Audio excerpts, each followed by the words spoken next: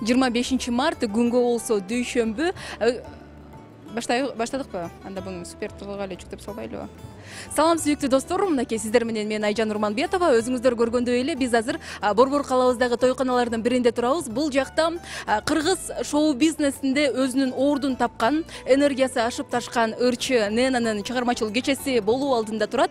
Бир гана чыгармачыл кечеси эмес аны менен катар ырчы айымдын туулган күнү дагы ал эми той азырынча баштала элек. Бул жака ырчы айымдын сахналаштары саналаштары жакындары ошондой эле эже агайлары сыртта күтүп олтурушат.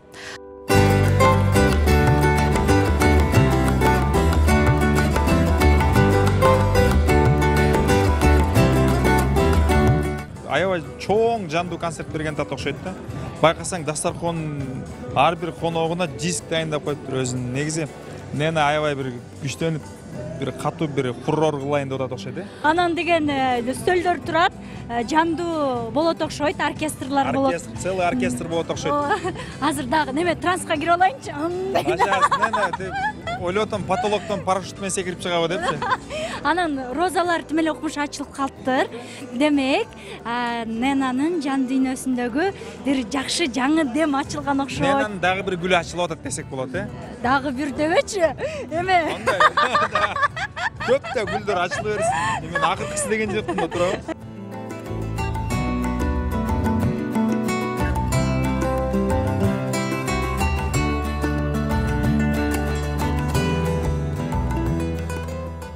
концертти кыргыз республикасынын куралдуу күчтөрүнүн алдындагы аскердик оркестр ачып берди. Андан соң сахнага ырчы айым чыкты. Бир эки үч я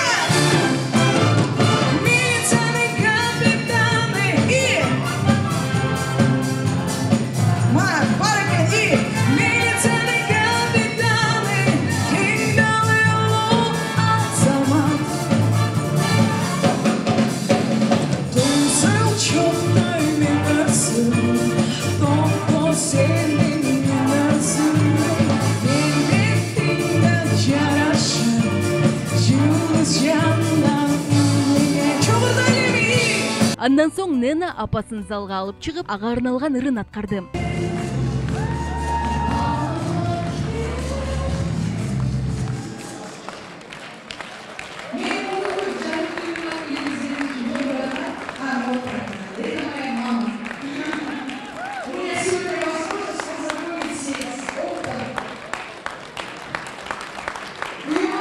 жанымда болсо айткүл эжекебиз нена айымдын апакеси экөөңүздөр аябагандай окшош экенсиздер окшош экенбиз окшош мен аябай таң калдым чач жасалганыңыздар баардыгы энергияңыздар баардыгы тең окшош экен сырттан карап олтурупчу балким бүгүн толкунданып атабызбы кызыңыз отуз жашка толуп жатат кечээ эле кичинекей кыз эле мына мынтип отуз жашка толуп өзүнүн чыгармачыл кечесин берип атат берип атат менин кызыма кааларым биринчиден ден соолук бакыт каалайм ушу балдарын только жакшылыктарын ушу балдары бактылуу болушун өзү балдар менен бактылуу болушун ошону тилейм чыгармачылыгына ийгилик өсө берсин өнө берсин демекчимин келиңиз азыр болсо мындай кылабыз нена айым отуз жашка толуп жатпайбы нена айымдын бир жаш эки жаш. Негизи эле бала кезин бир эстейбиз кандай кыз эле анда дагы ушундай шок беле ооба бир жашында тили чыккан бир жашында комарованын ырдачу болгондо ырдаганда туалетке отурганда гарчып отурбалы ырдачу потому что эхо болчу туалетте. Анан мультфильмде кайсы ыргы болсо ошого өзүн ошого сезип например баягы мультфильмдер бар го ошонун каарманы боло бер эле бир жашынан бир жашынан дебейм бир жашында тили чыккан бир үч жашынан баштап ырдай баштадым. Ошо нена бул күнү эч кимди капа кылбастан мектептеги биринчи мугалиминен тартып университетте окуткан эже агайларына чейин сахнага чакырып ыраазычылык иретинде белек бечкектерин тапшырып жатты. Мен эжекеме кол чабуулар мугалимдерди эч качан унутпаш керек салымды кошкон адамдарды. Мынакей рафаэль агай деген бул киши. Баардыгыбыздан беребиз ага сарлыков рафаэль тагабекович консерваторияга алып келип сен таалим алышың керек сабаттуу болушуң керек деп он жыл мурун алып келген анан мен кичине сизде болуп окубай коюп анан эми азыр кайра окуп атабыз шалкайма чоң ыраазычылыкты билдирип кол чабуулар ырчынын чыгармачылык кечеге дыкаттык менен даярданганы байкалып турду. Жандуу музыка коноктор үчүн даярдалган дасторкон анан дагы ар бир коноктун орундуктарына атайын каалоо тилек калтыруу үчүн баракчалар турду. Коноктор каалоо тилектер жазылган баракчаны атайын коюлган лототронго салып лотерея ойнотушту. Жеңүүчүнү аныктоо үчүн баракчаларды ырчы анжелика менен шоумен бакыт байсариевдин кызы сууруп чыгып жатышты. Кызыгы анжеликанын кызы тандаган баракча анын апасына тийиштүү болуп ырчы жеңүүчү аталды нена өзгөчө форматта өткөн чыгармачылык кечесинде сахнадан алыстабастан жандуу үн менен ырдап музыка менен жашай турганын дагы бир ирет далилдеди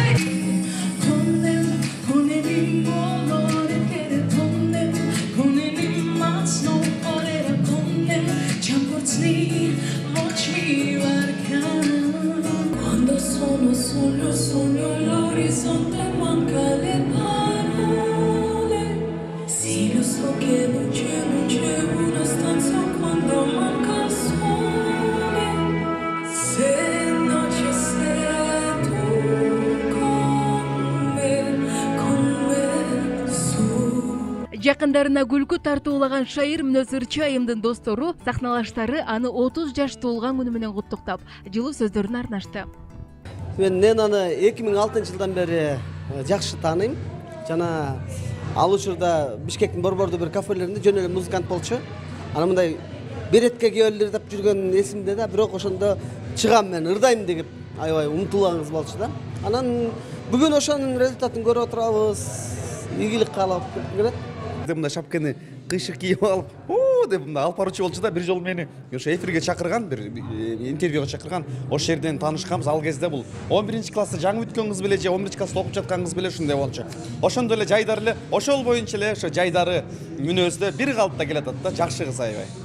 Мага бул кеченин форматы жагып атат. Анткени нена жөнүн гана өзүнүн коллегаларын жөн гана өзүнүн жакын адамдарын чакырбастан э, өзүнүн агайларын чакырыптыр консерваторияда иштеген. Азыр ошол адамдарды көрүп аябай ичим жылып атат. Сонун болуп атат кече. Нена менен биз көп жылдан бери таанышпыз. Э, экөөбүз ырдап чыга электе эле тааныш болчубуз себеби экөөбүз э, бир окуу жайда окуганбыз.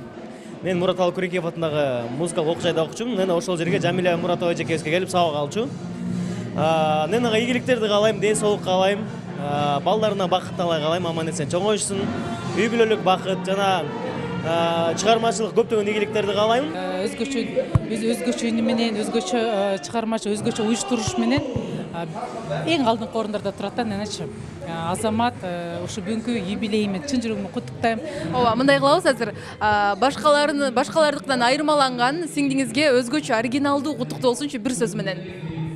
Бийиктик. Баардык жактан бийиктик каалайм сизге болсо чоң ыраазычылык. Сиздерге да чоң рахмат нена айымды бүгүнкү чыгармачылык э, кечеси менен чын жүрөктөн куттуктайбыз. Жана ошондой эле отузга чыгып барат карып бараттыр деп коет тамаша. Туулган күнү менен чын жүрөктөн куттуктайм.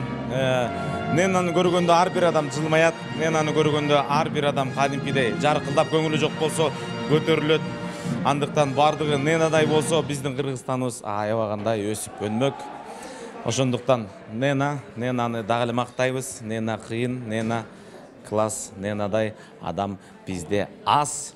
Тууган күнү менен чын жүрөктөн куттуктайбыз ненаны сиздер дагы инстаграм баракчасына кирип сиздер дагы куттуктап койгула бир сөйлөм менен нена айымга каалоо тилек бир сөйлөм менен оригиналдуу ойлонуңуз нена ты офигенна.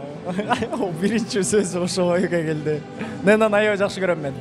Андан соң акыркы чыгармамды аткарам деп турган нена айымдын шырма артындагы сезимдери кубанычы менен бөлүштүк нена эжекебизди туулган күнү менен куттуктайбыз бүгүн болсо маанай беш албетте негизи эле отуз жашка чыгып атасыз толкунданып атасызбы отуз жаш кандай экен кандай сезимдер эртең менен ойгонгондо мана беш он он беш отузга чейин көтөрүлдү десем болот. Баары жакшы кудайга шүгүр кайра эле он сегиз жаштагы эле болуп атат отуз деген он сегиз окшойт дейм да. Чыгармачыл кеченин форматы тууралуу э? Канча күн даярдадыңыз канча ай даярдандыңыз? Төрт айдан ашык даярдандык форматын өзгөчөлүк кылган кылалы дегенбиз себеби баардык искусствонун ар түрүн баарын бир жерге кошуп баардык жагын окшоштурганга аракет кылдык. Эми силердин сыныңарга коебуз силерге жагат деген ойдомун концерт бизге жакты. Чыгармачыл кече бизге жакты. Баары сонун туулган күнүңүз менен дагы бир жолу. Соңунда туулган күнүн чыгармачыл кечесин жана жаңы альбомунун бет ачарын бир күндө өткөргөн нена айымга дагы да болсо чыгармачылык эргүү каалап жолубадык